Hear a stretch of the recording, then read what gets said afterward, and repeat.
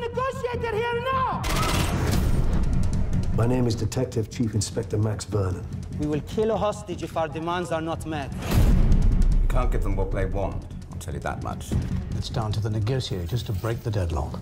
Or your men will have to storm the embassy. Press are everywhere. Do not let them make you. Do authorities face terrorism with negotiation or force? The army's next door. It's the SAS. If someone's shot, they go in. We better make sure no one is. We know there are some hostages on the second floor. You tell your government one more day, we begin shooting them. An immediate assault plan has been drawn up. Let's go again.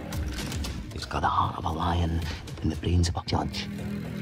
Their army is going to attack us. We can hear them in the walls. I want this to be resolved peacefully. Christ, they'll kill him. Shots fired in the embassy. Get set. Keep Selim talking during the assault. You want me to help kill them? I want you to save the hostages. The Prime Minister wants the world and the British people to see how this government deals with terrorism. Stand by. You and I can stop violence. There's still a chance. Go, go, go!